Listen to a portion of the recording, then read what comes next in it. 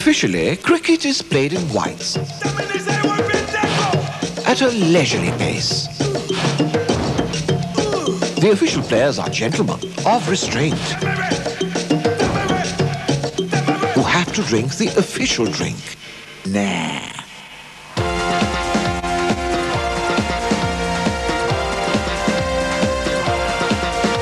Pepsi. Nothing official about it. Nothing official about it. Uh-huh.